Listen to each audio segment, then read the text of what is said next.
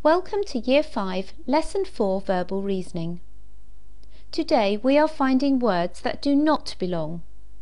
Think about each word and how you might describe it.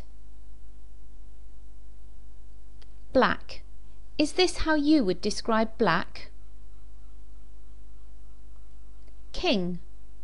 A king could be described as a ruler, as a person, and as a member of a royal family. Purple. Does purple remind you of black currant juice? Green. Green reminds us to be environmentally friendly. It's the colour of grass, and of course it's a colour. House. A house is a building, it's made from bricks, and it's a home. Now stop the video and see what you already know about words that do not belong. When you have completed test 4a, come back to the video.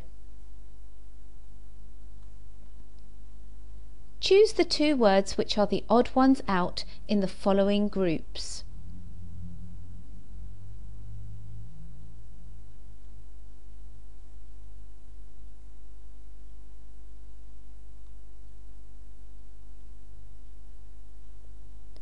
Okay, let's have another look at that. Choose the two words which are the odd ones out in the following groups.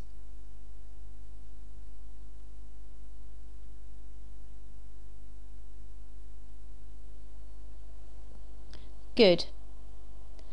Now it's your turn to have a go. Stop the video and try test 4b. Remember to come back to me when you've done it.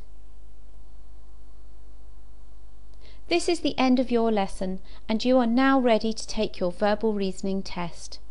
Go to Year 5, Week 4, Verbal Reasoning Test. Good luck!